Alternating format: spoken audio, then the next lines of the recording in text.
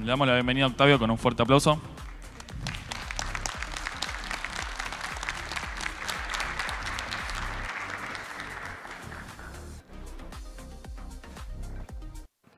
Buenas, ¿cómo andan? ¿Se escucha? Sí.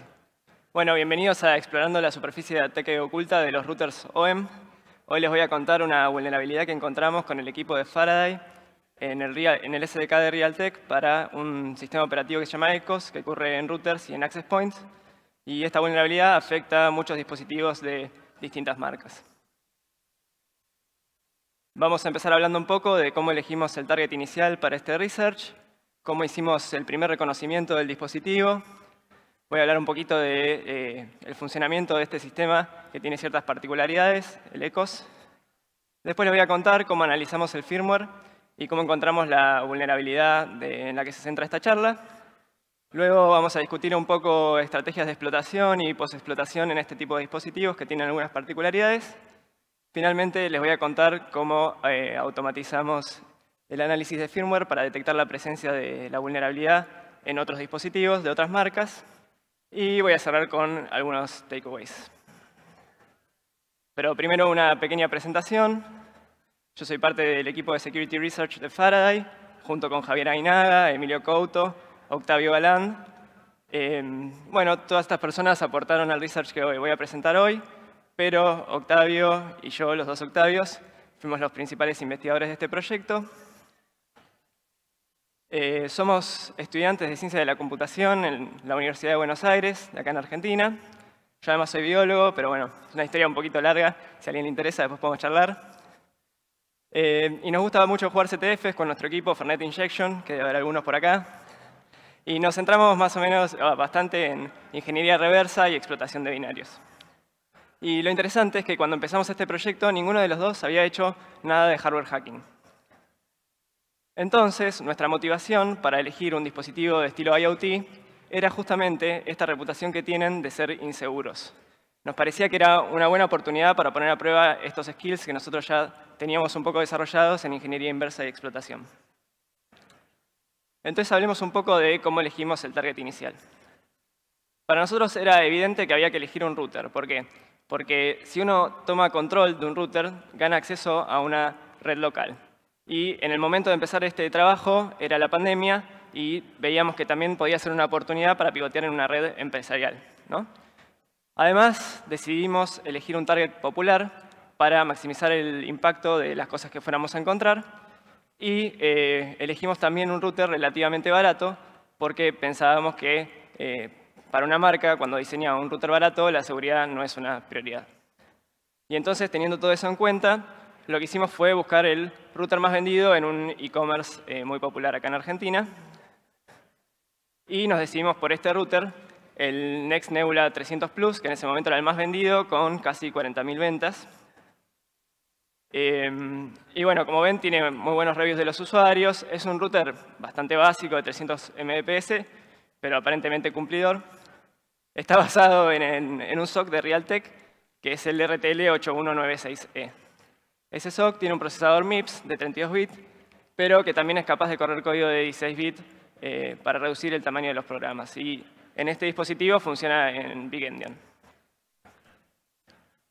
Bueno, entonces una vez que elegimos el target, empezamos con la primera etapa de reconocimiento. Hicimos lo que hace todo el mundo. Fuimos a la página del fabricante, nos bajamos el firmware y le corrimos Beamwalk. Pero este no era el clásico router que tiene Linux y un sistema de archivos, sino que ahí solo había un bootloader y un binario bastante grande comprimido. Y nosotros queríamos empezar a hacer ingeniería reversa de ese binario, pero no podíamos adivinar el, loading address. Y entonces no podíamos empezar el proceso de, de, ingeniería inversa. Entonces nos conseguimos uno de esos routers, lo abrimos y nos queríamos conectar a WART. Pero lo que vimos cuando lo abrimos es que no tenía pines de y tampoco tenía ningún lugar para soldarlos. Por suerte, para estos SOCs están liqueados las hojas de datos y entonces ahí pudimos ver que eh, hay dos pines del SOC que están destinados a WART. En ese momento yo estaba trabajando desde mi casa y no tenía muchas herramientas de hardware hacking, así que con lo que tenía, un corchito y unos, unas patitas de una resistencia, más un analizador lógico que me había prestado Javi Pasta, eh, bueno, armé este aparatito que tocaba esos pines de UART y con eso obtuvimos el primer log del router. Y eso nos sirvió un montón porque ahí pudimos ver que entre las cosas que se imprimían, se imprimía la dirección de la primera función que se ejecuta dentro de este kernel. Y eso nos sirvió porque eh, el loading address del kernel está muy cerca de eso. Sabiendo eso, podemos terminar de adivinar esa dirección y empezar el proceso de ingeniería inversa.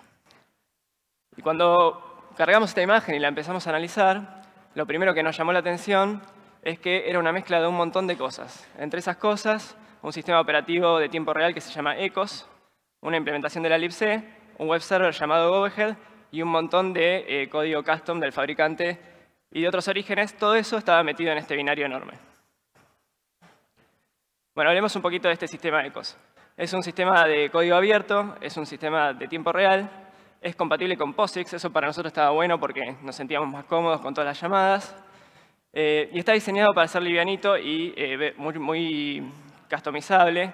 La idea es que el desarrollador, cuando compila este kernel, puede elegir qué módulos meter y sacar, eh, y después buildear todo eso con su código para que quede este binario que sea como muy justo, digamos, para la aplicación que, el desarrollador necesita, porque piensen que esto corre en sistemas embebidos que son limitados. Y parte de esa filosofía de que sea bien livianito hace que este sistema operativo eh, tenga un solo proceso. Sin embargo, a pesar de tener un solo proceso, eh, puede hacer concurrencia porque puede eh, levantar muchos threads y una particularidad es que esos threads pueden acceder a todo el espacio de memoria del dispositivo no tiene memoria virtual, no hay privilegios, y cada, vez que uno de estos threads crashea, eh, el router se reinicia. Así que, bueno, cualquier cosa que uno hace con el router que arruina un poco algo, el router se reinicia. Bueno, una vez que tuvimos un poco más de idea de qué había ahí adentro y qué eran estas cosas a nivel genérico, empezamos realmente a hacer ingeniería inversa y a centrarnos en un montón de las funcionalidades custom que tenía este router implementada sobre todos estos proyectos de código abierto. Lo primero que intentamos hacer es aplicar eh, firmas de funciones para reconocer todas las funciones que había en el binario y acelerar el proceso de ingeniería inversa. Aprovechando que un montón de estas cosas eran abiertas, eh, pero el primer problema que nos encontramos es que no había un release del vendor de todo ese código. Entonces, juntamos todos estos proyectos que pudimos y a partir de eh, algunos strings que encontramos en el binario, reconocimos cuál era el compilador y buildeamos todos esos proyectos de la forma más similar que pudimos al router. Sin embargo, las firmas que obtuvimos no nos sirvieron. Más adelante encontramos un, toolchain liqueado, repetimos el proceso con eso, tampoco nos sirvieron las firmas, así que bueno, ahí estábamos un poco derrotados, pero para este sistema operativo hay gente que ha logrado hacer eso y ahí les dejo un link por si les interesa.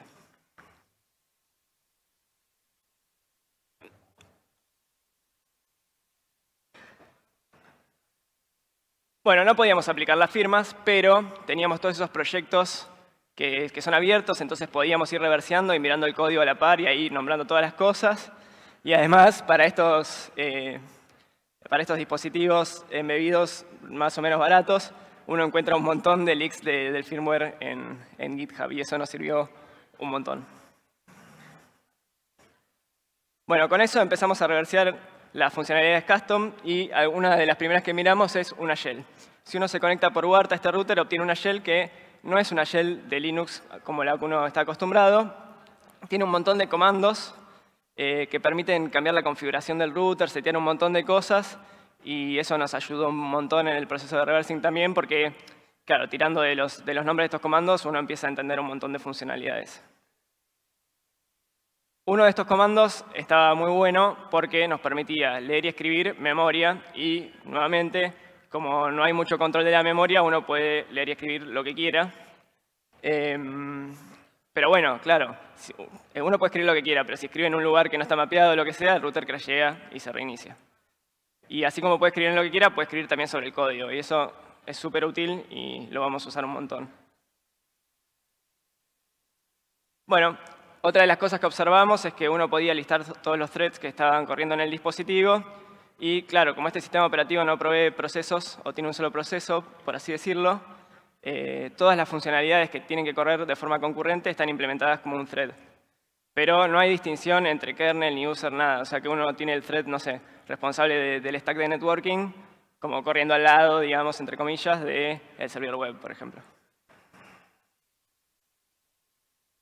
Otra funcionalidad interesante es que para coordinar todas esas, eh, todas esas cosas que el router tiene que hacer, estos threads se comunican entre sí pasándose mensajes, que son simplemente un ID del thread y un string. Por ejemplo, acá podemos ver abajo, eh, cuando uno mantiene el botón apretado de reset un tiempo largo, hay un thread que está escuchando ese botón, le manda al otro, che, reinicia el router a la configuración de fábrica. Y bueno, lo que más queríamos hacer, después de entender todas estas funcionalidades, es tratar de vallarlo. Pero si no tenía pines para WART, menos va a tener para JTAG. Eh, y eh, en, este, en, estos documentos liqueados sobre los, las funcionalidades del procesador, vimos que había algunos pines que podían ser asignados a JTAG, pero también podrían estar asignados a input y output de propósito general. Y este router los tenía asignados así y estaban siendo usados para controlar las luces y para escuchar cuando el usuario presiona los botones. Igual nosotros tratamos de habilitar JTAG, esto se hace escribiendo a un registro que está mapeado a memoria, pero el router crasheaba eh, porque estaba accediendo a, esos registros. Tratamos de deshabilitar los watchdogs de esas cosas, pero no hubo caso. Cada vez que queríamos levantar JTAG, el router moría. Pero bueno, ahí prestamos un poco más de atención a lo que pasaba cada vez que el router crasheaba, que era esto, aparecía un dump del estado de todos los registros, un stack trace, y también eh, había un poco del principio del contenido del stack, que no se ve ahí, pero bueno, aparecía también más abajo. Y en realidad, si lo pensamos, esto se parece un poquito a lo que uno hace con un debugger. ¿no? Cuando uno está debuggando algo, bueno, elige un lugar del código, pone un breakpoint, cuando el código llega ahí se detiene, uno ve todo este estado interno del procesador y de la memoria, y ahí, bueno, puede editar cosas, puede seguir. En nuestro caso teníamos eso, o sea, podíamos ver el estado interno, pero bueno, ahí el router se reiniciaba. Sin embargo, si uno se amaña para poner ese breakpoint, por ejemplo, eh, arruinando alguna dirección del código, cuando la ejecución llega a esa parte, el router va a crashear, se va a reiniciar y uno va a poder ver el estado. No va a poder editar, no va a poder hacer un montón de cosas, pero bueno, era lo único que teníamos y nos alcanzó para hacer un montón de cosas. Y como uno hace toda esta edición del código en RAM, cuando el router reinicia, vuelve a andar como siempre. Bueno, y una vez que habíamos entendido estas funcionalidades particulares de este router y ya teníamos identificadas más porciones del código mediante el proceso de ingeniería inversa, quisimos tratar de encontrar una vulnerabilidad.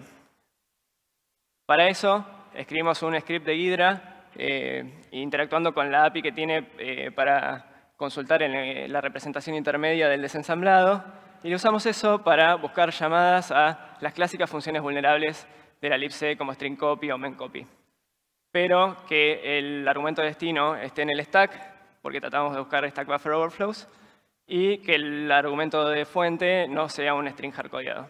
Eso nos dio una lista de unos cuantos lugares del código para mirar, pero revisando esa lista encontramos este pedacito que está ahí abajo, eh, que era muy interesante, porque eh, agarraba una, línea de, de, caracteres y usaba string char para buscar un espacio. Si lo encontraba, buscaba un segundo espacio, y si lo encontraba, lo que hacía era copiar a partir de ahí todo el contenido directo al stack sin chequear nada. Esto es un clásico Stack Buffer Overflow. Pero bueno, antes de poder entender un poco mejor qué es lo que hace este código en el contexto del router, tenemos que hablar un poco de VoIP, SIP y SDP, que son dos protocolos. Cada vez que uno hace una llamada de VoIP, eh, primero se establece una sesión usando un protocolo que se llama Session Initiation Protocol o SIP, y a la par, el protocolo SDP se usa para negociar eh, cómo va a ser ese intercambio de multimedia en la llamada.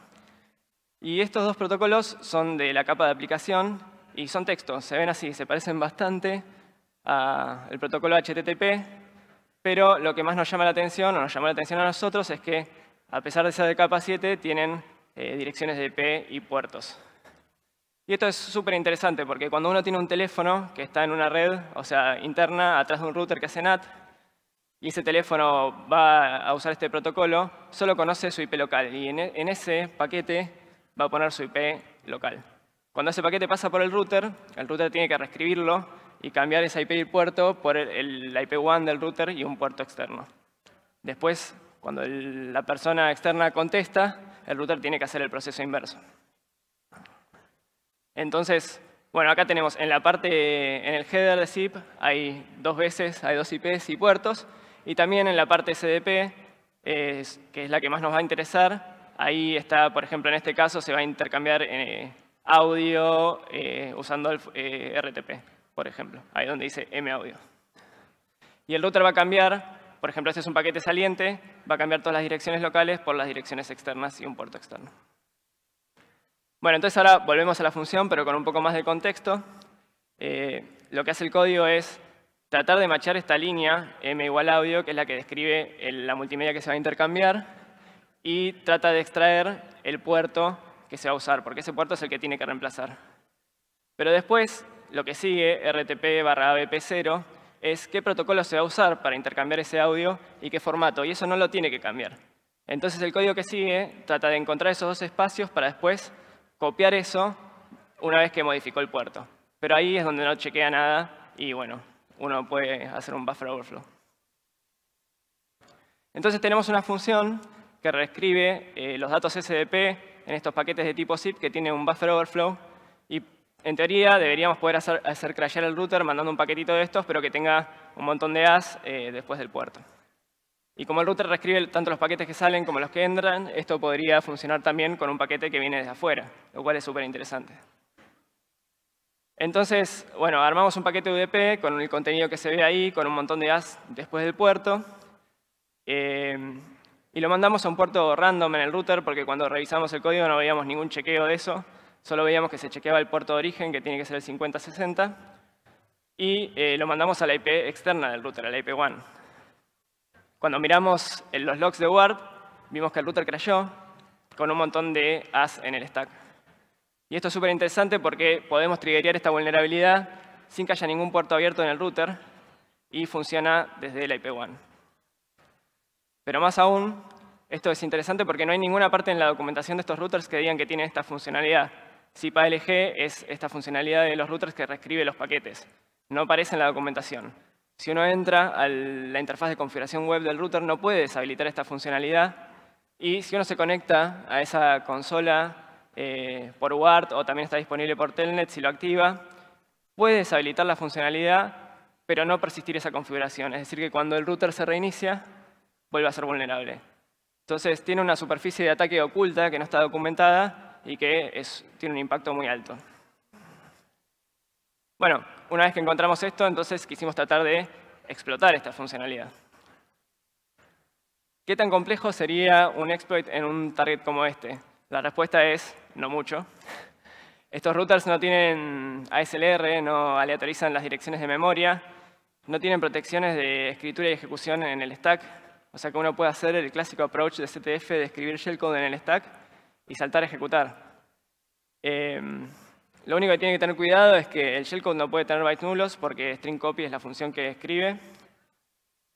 Y estos procesadores tienen dos caches separados para data e instrucciones, así que si uno quiere hacer un shellcode que se automodifique, bueno, es un poco más complicado. Pero se pueden mantener las cosas simples y se puede hacer un exploit bastante fácilmente si uno lidia con un montón de, de constraints que hay que cumplir para que eh, la función salga bien, ¿no? Porque si uno hace cualquier cosa, el router crashea. Eh, y bueno, es muy importante que no crashee porque vamos a perder todo lo que hicimos, porque estamos tocando memoria y además porque el usuario se podría dar cuenta. Entonces, para explotar esta vulnerabilidad, lo que hicimos es agarrar un paquete muy parecido al anterior, dejar algunas as de padding y eh, escribir ahí para llamar, eh, el shellcode para llamar a una función que enciende el servicio de Telnet y después usar esta funcionalidad de mensajes para pedirle, para pedirle al router que apague, el firewall. Después de eso, tratamos de entonces reconstruir todo para que eh, el router retorne sin crashear, esta función retorne sin crashear, así el router no se reinicia. Eh, bueno, hay algunas variables locales que hay que setear también para que la función termine bien. Y apuntamos el return address a nuestro buffer. Y eh, entonces cuando esa función termine, el router va a ejecutar nuestro shellcode. Una vez que ese shellcode corre, vamos a tener telnet habilitado. Y bueno, eh, eh, otra cosa que tenía este router era un backdoor en telnet, así que uno se puede conectar a través de ahí. Pero para este momento ya tenemos ejecución de código en el router, así que si uno no tuviese ese backdoor, igual puede cambiar todos los settings, hacer lo que quiera. Bueno, hablemos un poco de la post-explotación. Entonces, nosotros habilitamos Telnet y ahí eh, conseguimos una shell en el dispositivo. Esta shell, nuevamente, no es la shell de Linux que todos conocemos y este dispositivo no tiene un file system, entonces eh, no podemos subir un binario. Pero tenemos esta función que nos permite escribir la memoria y entonces podemos escribir nuestro código. El approach que elegimos es, eh, el telnet tiene estos comandos y estos comandos tienen sus handlers y están en un array como el que se ve a la izquierda de la pantalla, donde está el nombre del comando y un puntero a la función que, es la responsable de, handlearlo. Y entonces lo que hicimos fue eh, escribir como prueba de concepto un escáner de puertos eh, y inyectarlo en un lugar de la memoria usando este comando de escritura. Luego, pisar uno de los comandos y apuntarlo a nuestro código recién subido. Es importante tener en cuenta que todo el código que usamos, que, subamos, tiene que ser autocontenido o tenemos que conocer las direcciones de las funciones que queramos usar para poder saltar en la ejecución. Pero bueno, esto, nosotros tenemos acceso a toda la API de, este sistema operativo ECOS y tenemos las funciones de la libc entonces, eso nos sirve un montón para implementar nuestro escáner. Queríamos hacer un, escáner eh, SIN, pero bueno, había que usar los sockets y eso no estaba implementado en este kernel. Al final hicimos un escáner TCP Connect, eh, que es un poco más lento, pero usamos esto de levantar múltiples threads para acelerarlo un poco. Igual es un poco lento, pero bueno, es una prueba de concepto. Y lo único que hay que tener en cuenta es que cuando uno buildea este código que va a escribir directo en la memoria del router, eh, al compilarlo, ese código tiene que ser consciente de en qué dirección va a aterrizar para que todos los saltos funcionen y tiene que definir las direcciones de todas las funciones que va a usar dentro del espacio de memoria del, binario. ¿no? Eh, bueno, eso lo automatizamos con un script que pueden ver en ese repositorio y eh, escribimos el binario usando este comando de, escritura de memoria. como otro ejemplo interesante de post-explotación, hay un grupo que eh, gana persistencia en el firmware, reescribiendo el firmware. Está muy bueno también para mirar. Y bueno, ahora un pequeño demo de eso. Entonces, acá yo estoy conectado al router a la vez por WAN y por LAN. Ahora estoy entrando por LAN al panel de administración. Ahí puedo ver entonces la IP de WAN del router y si voy a la parte de administración, puedo ver que eh, Telnet está deshabilitado.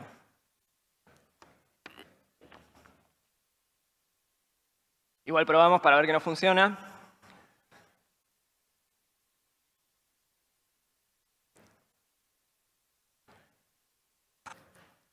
Y escaneamos el router para ver que el puerto de Telnet no está abierto. Y bueno, ahora podemos mandar nuestro exploit que va a empezar compilando este código que después va a inyectar y va a mandar este paquete para habilitar Telnet. Y una vez que hace eso, entonces podemos ver que ahora el puerto está abierto y ahí ya estamos logueados. Y si tocamos Enter lo que va a pasar es que todo nuestro second stage se va a escribir a memoria y eso tarda un poquito. Pero cuando eso termine, vamos a tener un nuevo comando en el router que va a ser nuestro escáner de puertos.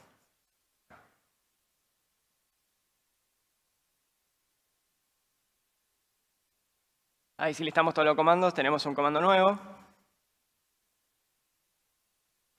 Y lo podemos usar para escanear al mismo router y ver, por ejemplo, que ahora, además de la interfaz de configuración web, tiene el puerto de Telnet abierto. Y bueno, ahora como prueba de concepto escaneamos otro dispositivo que estaba en ese momento en la red local.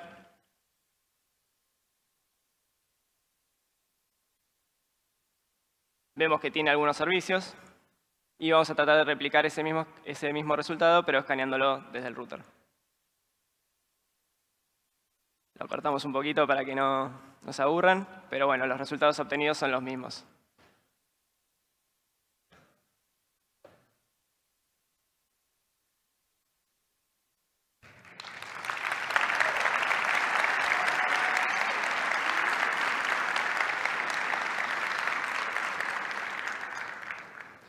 Bueno, entonces para este momento teníamos un exploit funcional eh, en este modelo de router.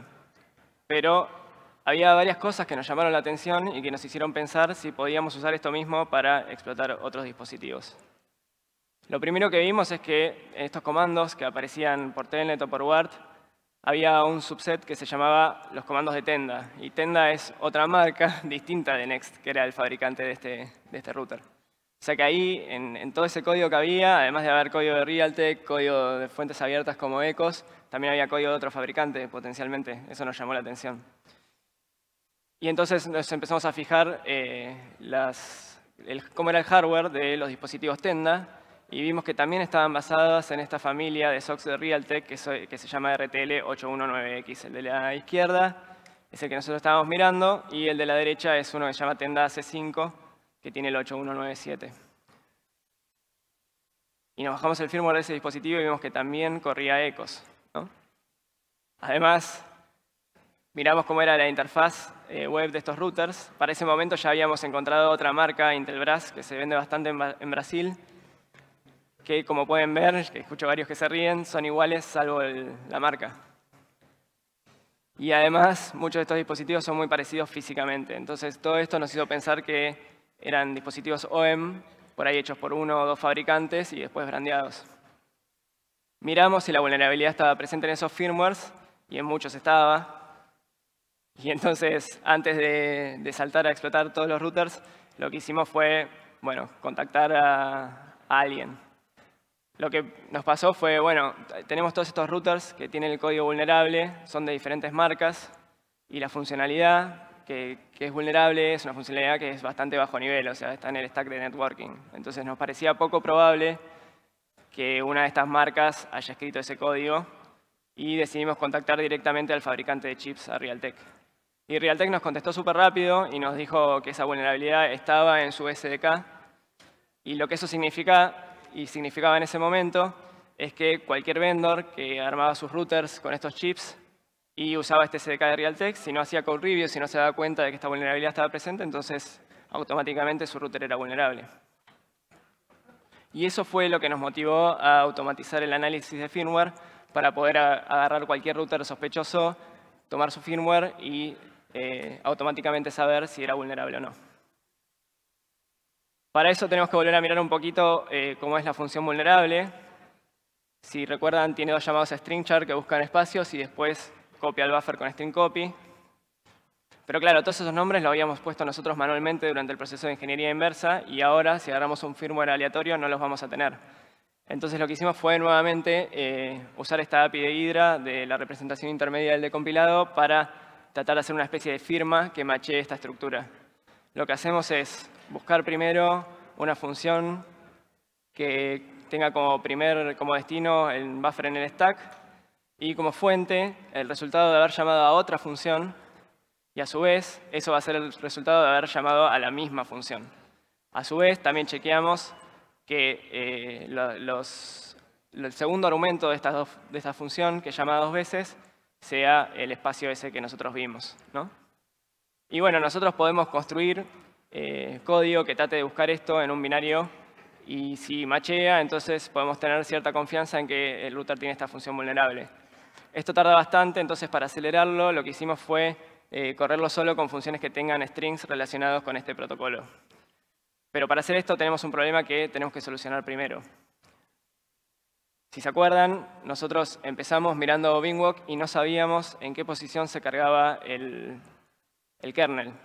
Y lo resolvimos conectándonos por WART, pero si queremos hacer esto de forma automatizada, eh, no podemos hacerlo así. Entonces, bueno, volvimos a mirar qué era lo que decía el bootloader y nos dimos cuenta que tenía estos mensajes.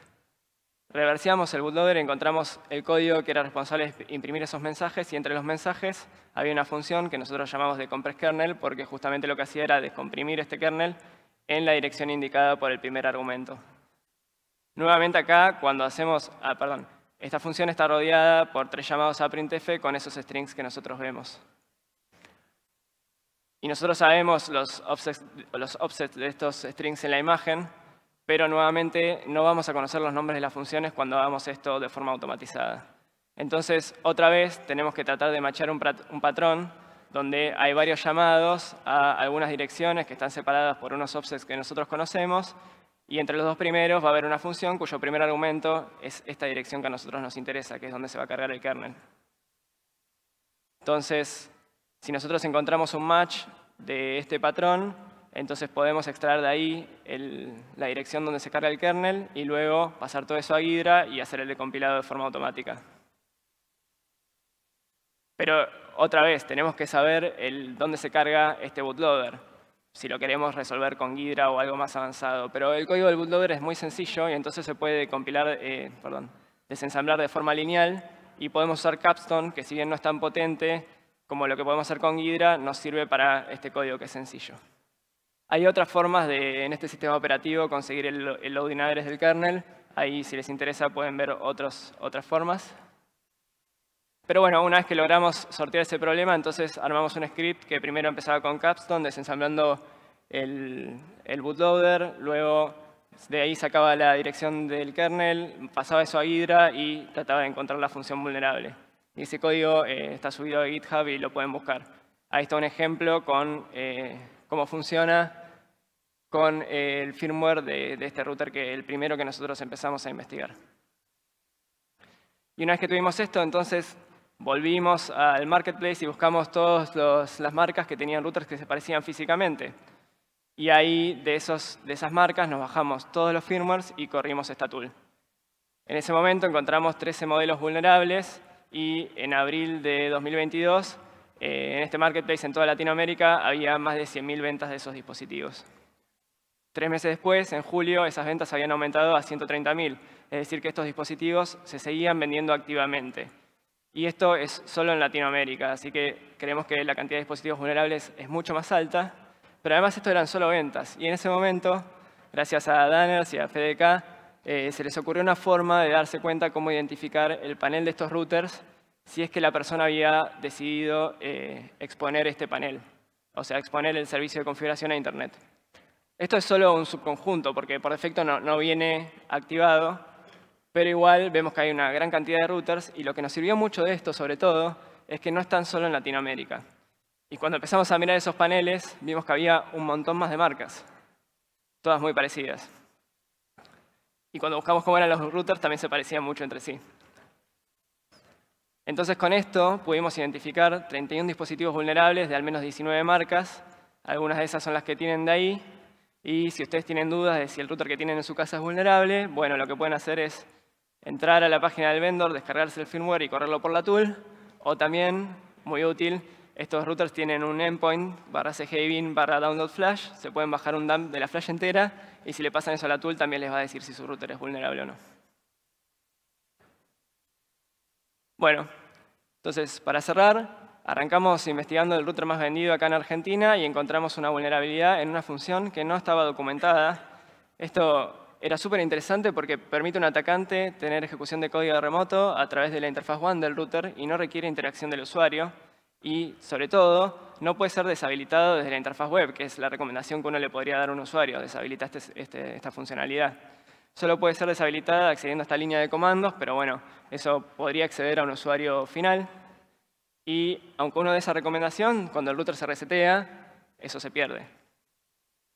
¿Y por qué esto es importante? Bueno, porque esto era una superficie de ataque oculta que solo podía ser descubierta haciendo ingeniería inversa. Eh, era difícil de detectar.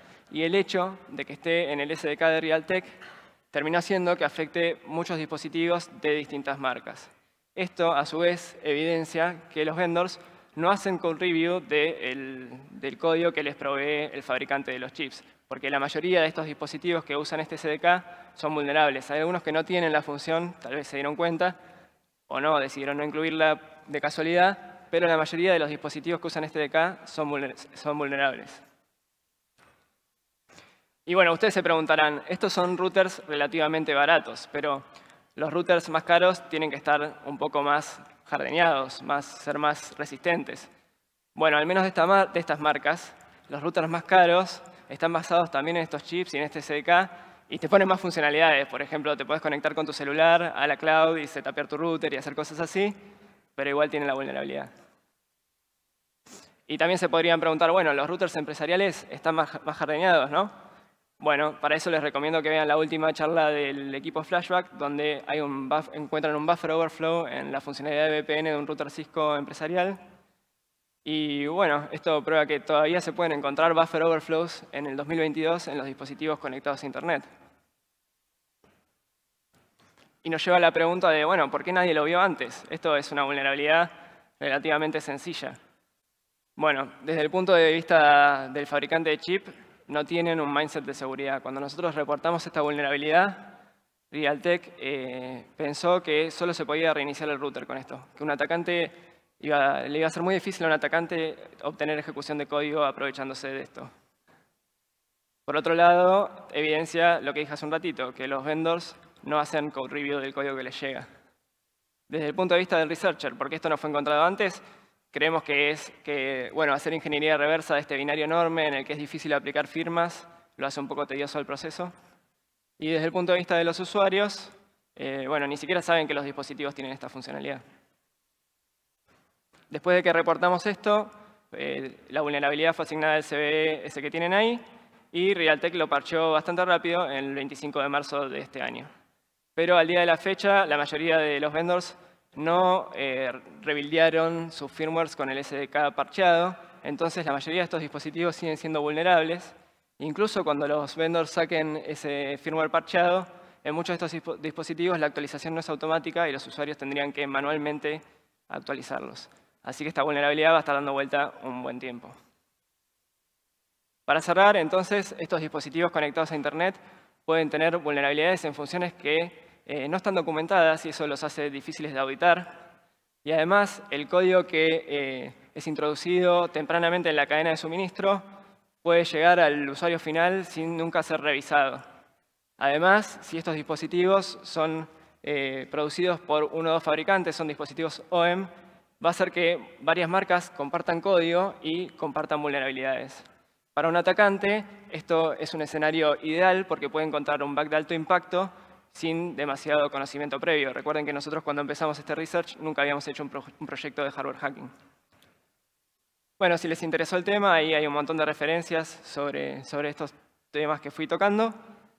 Y espero que les haya gustado la presentación y les agradezco por haber venido.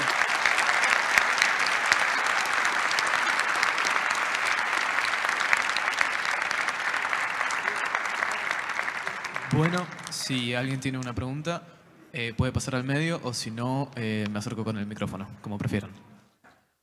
Levante la mano, ¿eh?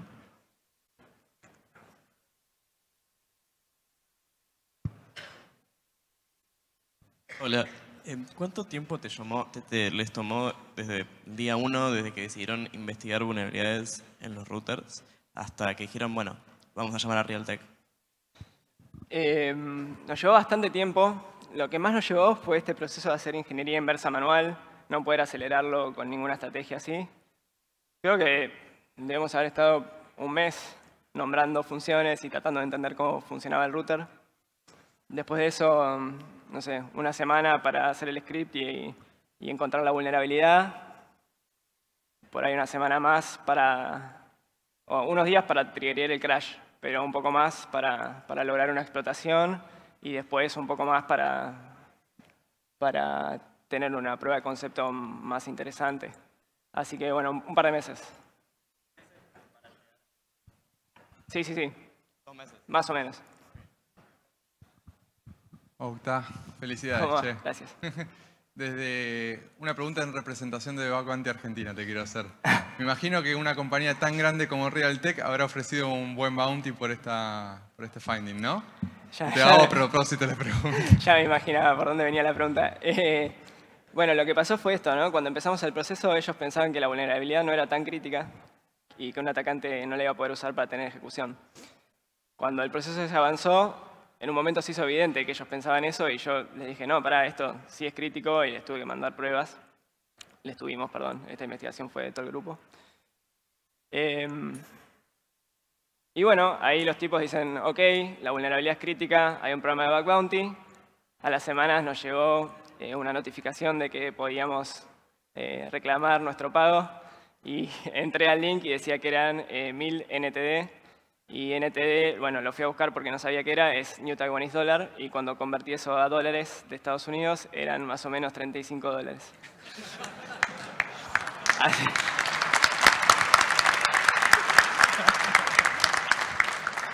Así que se imaginan que cobrar eso no, no tiene ningún sentido, no alcanza ni para cubrir los gastos del research y bueno, les dijimos ama- amablemente que no lo, no lo íbamos a cobrar.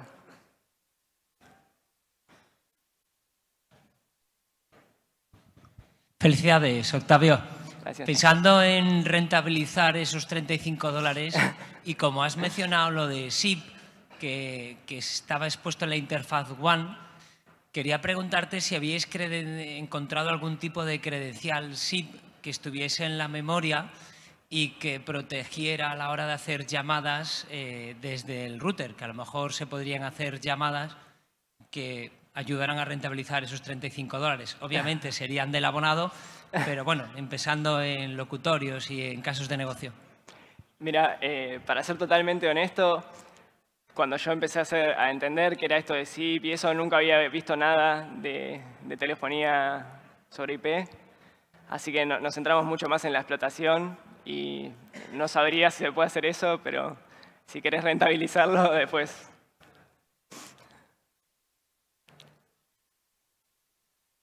¿Alguna otra pregunta? ¿Qué tal? Eh, yo quería saber si en todos estos rutas que encontraste la vulnerabilidad, eh, el, el campo sobre el que pones todas las As o pones el código para el buffer overflow, ¿siempre es con el mismo protocolo para todos? No, O- no, la función, yo ahí en el ejemplo dije que macheaba audio, pero en realidad, o sea, es este campo que se llama Media Description Field de RDP, pero lo que sigue puede ser audio, video, cualquier tipo de media. Sí tenés que respetar este formato del tipo de media, el puerto y todo lo que sigue va a ir directo al stack. Y con cualquier cosa de RDP agarra eso los que tienen la vulnerabilidad. Sí, no, no- no tiene que decir RDP, nada. O sea, Ah, solo tiene que ser alguno de los tipos de, de medio, de multimedia y un puerto. Y después copia. Eh, si nadie más tiene una pregunta... Ah, ok. No lo vi. Bueno, no, felicitaciones. Eh, la pregunta es si en el análisis que hicieron detectaron equipos que ya hubieran sido comprometidos, ¿no? O sea, uno se sabe que todo este tipo de temas de ataques de negación de servicio, etcétera, pasa por este tipo de dispositivos. Sí. Si llegaron a detectar que ya, ya estaban algunos equipos comprometidos. Sí, eh, no nos centramos en, en la detección de la explotación, digamos, in the wild de la, de la vulnerabilidad y traquear eso. Eh, estaría muy interesante hacerlo. Eh, la realidad es que para explotar cada dispositivo uno tiene que hacer un shellcode eh, apropiado para la imagen esa de firmware que va a tener las cosas en otras direcciones. Entonces, si uno usa esta vulnerabilidad y eso no machea, el router crashea. Con lo cual, no sé, la única forma de detectar si está o no está, básicamente es crashear un router. Y eso es un poco invasivo, no es algo que uno pueda hacer a gran escala, digamos. Gracias.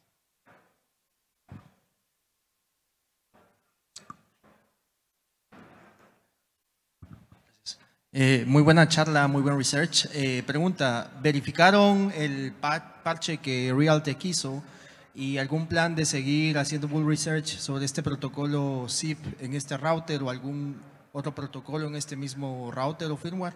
Ujú.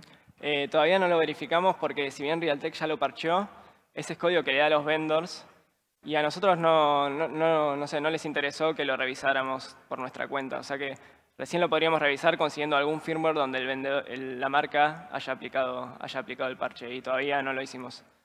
Y la otra pregunta era eh, seguir... eh, Sí, que si tenés planificado seguir haciendo research sobre este mismo protocolo en estos firmware o, o a, a dónde continúa este research con, con estos routers. Mm. Eh, no, yo creo que el, el protocolo fue algo particular de esto, pero está bueno seguir mirando estos routers porque hay un montón de, de routers así baratos, OEM, que tienen este tipo de calidad de código, por ahí tal vez por los constraints que, el hardware les da, o un, bueno, un montón de cosas que uno se puede evaluar. Pero no creo que sea algo particular del protocolo, sino de, cómo, cómo es la cadena de suministro de este tipo de dispositivos. Y por eso está bueno seguir mirándolos. Eh, ¿Alguna pregunta más? Bueno, Eh, como no hay más preguntas, despedimos con un fuerte aplauso a Octavio.